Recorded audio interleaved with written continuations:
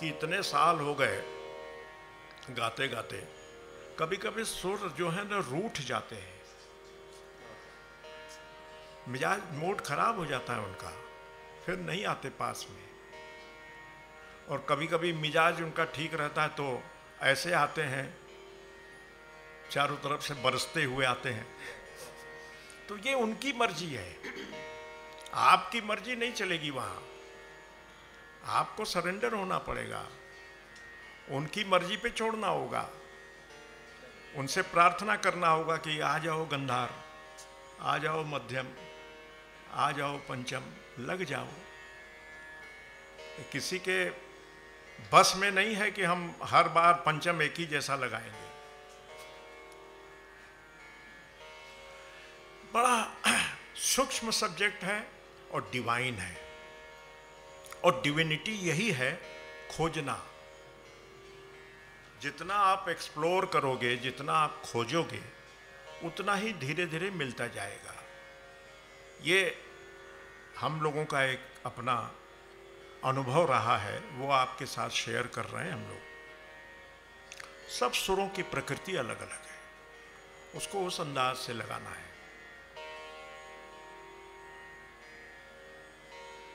और कुछ जी।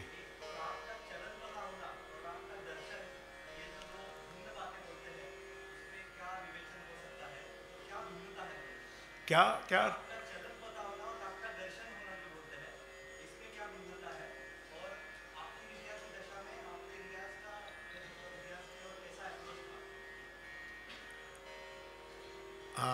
अगर आपको राग का चलन मालूम है तो राग का दर्शन होना ज़रूरी है। कई लोग को चलन तो मालूम होता है, लेकिन वो ऐसा सोचते हैं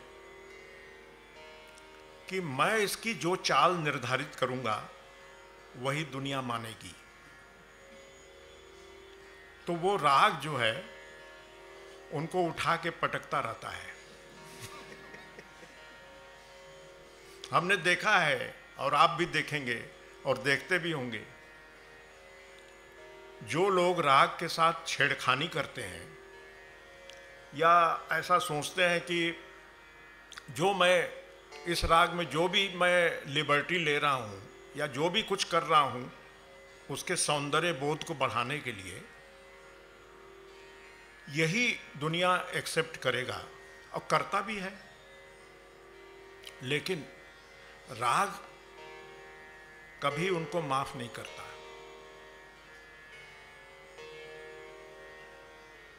बहुत साल पहले एक बहुत अच्छे कलाकार का मैं सुनने गया तो 10-15 मिनट लेट पहुँचा मैं हॉल में। तो मैंने अपने पड़ोसी से पूछा कि कौन सा राग अनाउंस हुआ है? तो वो हमारे तरफ़ देख के हंसने लगा। बोले, पंडित जी, आप मज़ाक कर रहे हैं। हमने कहा, नहीं नहीं, मज़ाक नहीं कर रहे हैं, सही बताइए। बोले, अरे यमन। हमने कहा अच्छा अच्छा। मतलब आप समझ सकते हैं कि यमन भी ऐसा हो जो मेरे समझ में नहीं आवे।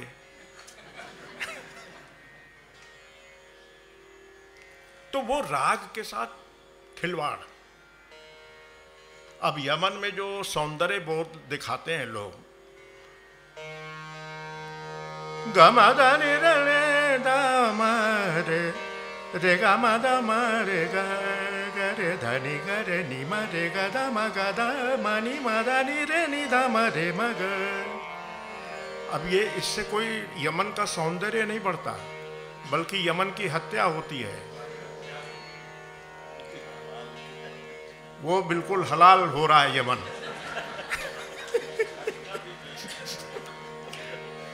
क्योंकि यमन का जो बहुत प्रमुख स्वर है, पंचम है। अब वो पंचम को ही ओमिट कर दिया। गमादानी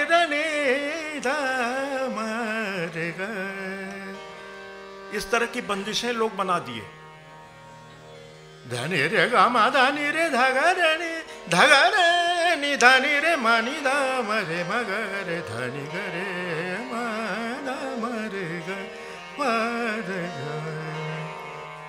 एक छोटा सा पंचम लगा दिया।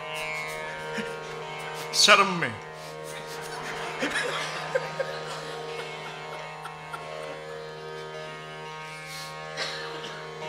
तो इस तरह की हरकतें बहुत हो रही हैं।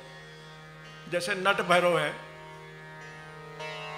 उसमें सुना हमने कुछ लोगों को। तो उसमें भी कुछ अजीब तरीके से वो बजा रहे हैं। नट भैरव। बागेश्वरी सुना। बागेश्वरी में कुछ अजीब कुछ हो रहा है। दरबारी और मियाँ मल्हार तो बहुत दूर है। अभी जब बागेश्वरी के साथ ही हो रहा है तो दरबारी में तो होना ज़रूरी है। वो तो होगा ही।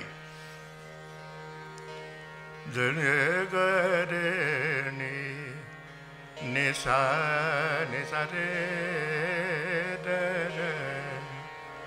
धनि सरे गरे सा मगर गरे धनि रे गरे सा अब ये हो रहा है तो उससे हो सकता है कुछ लोगों को अच्छा लगे लेकिन मेरा अपना अनुभव है कि जब आप राग के साथ ईमानदार रहोगे तो राग आपको रास्ता दिखाता है। राग का आवाहन करना पड़ता है, उसका प्रार्थना करके उसको बुलाना पड़ता है। और वो जिस दिन आ जाता है, उस दिन बस आनंद ही आनंद है। फिर उसके आने के बाद फिर दूसरे राग को आना बड़ा मुश्किल हो जाता है। जब आप आवाहन करते हो किसी चीज़ का, मंत्र का आवाहन होता है। जब हम अग्नि कुंड में जब हवन करते हैं तो अग्नि का आवाहन करते हैं। हम अपने देवताओं का आवाहन करते हैं। तो जब वास्तविक रूप से मंत्रोच्चार हो और अग्नि कुंड में अग्नि प्रज्वलित हो तो वाकई वहाँ एक एनर्जी आती है। संस्कृत इसलिए इतना पावरफुल लैंग्वेज है। तो मेरे कहने का सिर्फ़ इतना ही मतलब है कि जो हमारी परंपरा है, वो कुछ सोच समझ के और बड़े रिसर्च के बाद बनाई गई है। उसके साथ खिलवाड़ नहीं होना चाहिए। नए नए राग बनाते जा रहे हैं लोग। अरे, अभी यमन ही नहीं सद रहा है। ये मन का गंदार ही नहीं सदा। चले, पता नहीं कौन कौन सा कौस और कौन कौन सा क्या क्या।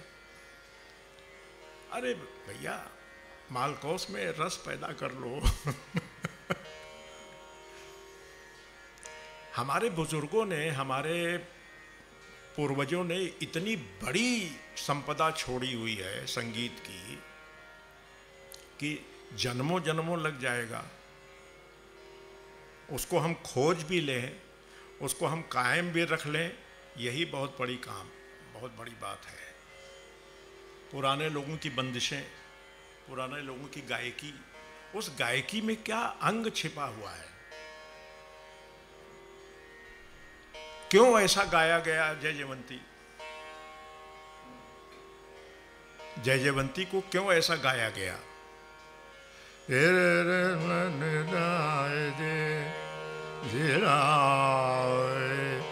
दन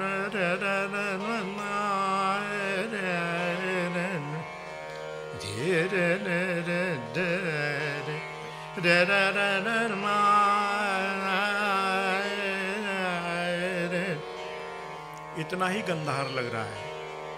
रे रे रे रे रे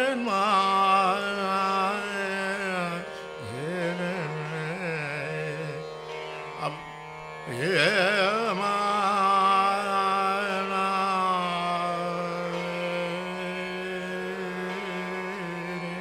अब इतना ज़्यादा गंधार लगाने लगे। ग